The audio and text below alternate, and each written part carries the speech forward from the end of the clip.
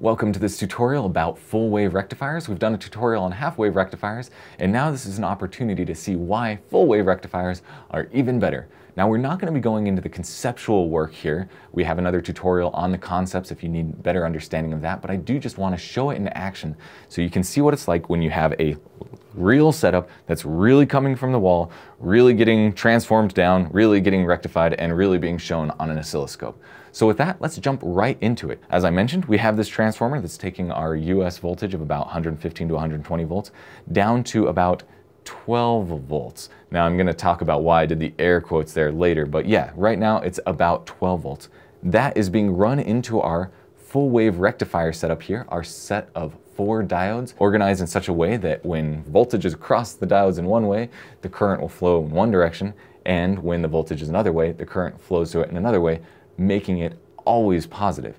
The output, as you can see, is here on the oscilloscope. So if you remember the half-wave rectifier tutorial that we've done, it would only come up, come down, and then for that other half of the cycle, it would just be flat and do absolutely nothing. Then come up, come down, flat. But here, it's up, and then instead of going down or disappearing, because we have that unique um, organization of the diodes, it comes back up and gives us another spike just like that. And it's a beautiful thing. Now, there's a couple of things to pay attention to when you're dealing with a full wave rectifier. Unlike a half wave rectifier, it's quite a bit more complicated. Instead of having just one diode, you have four diodes and four different nodes, and you have to hook those nodes together properly and give it power properly, and if you do it wrong, it's going to cause problems. You're going to short circuit and you're going to cause things to spark and you're going to blow fuses, and that's not good. So like anything with electronics, it's not a problem. Just take your time, make sure you're doing it carefully, and you'll be totally fine. Another thing that you need to worry about with a full wave rectifier versus a half wave rectifier is with a half wave rectifier, you are only using one diode, and so you only have one diode's forward voltage drop. And that is typically 0.7 volts, depending on how you have it. It could be more or it could be less, but we're assuming 0.7 volts here. So if you have two diodes, in this case, where you have to have the voltage across two diodes in series, you're gonna lose 1.4 volts across both of them, so you're gonna lose just a little bit more in that side.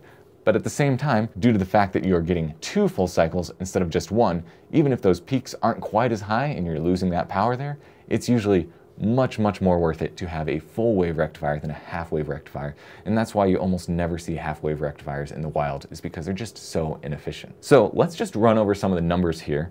Now I'm going to use my multimeter and it's going to be measuring AC voltage here and it is popping up at 13.4 volts AC. And then as we look at the output that comes out through the half wave rectifier, so this is the voltage across the load, my average is 11.7 volts. So again, since we lost 1.4 volts approximately, 11.7 uh, plus 1.4 is 13.1. So it seems like our diodes are actually a little bit more than 0.7 volts forward voltage drop on these.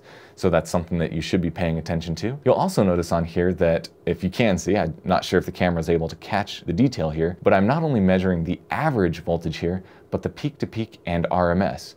So the peak to peak here is 18.4 volts, and that's why I said 12 volts earlier, is because in reality, what you're getting is quite a bit more than those 12 volts, but once you get through everything and you get the average, it drops down significantly. So here we've got 18 volts peak to peak, 18.6. We've got 11.7 volts average and then 13.1 volts RMS. So when you're dealing with, well, frankly, anything, but in particular, full wave rectifiers, you need to make sure you're measuring the correct thing.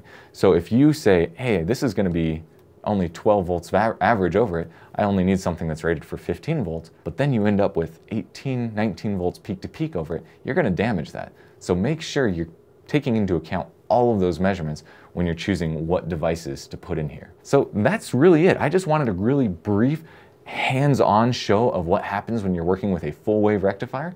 I hope that was helpful and I hope it was interesting as well. If you liked the video, give it a like, subscribe to our channel, and we'll catch you in the next one.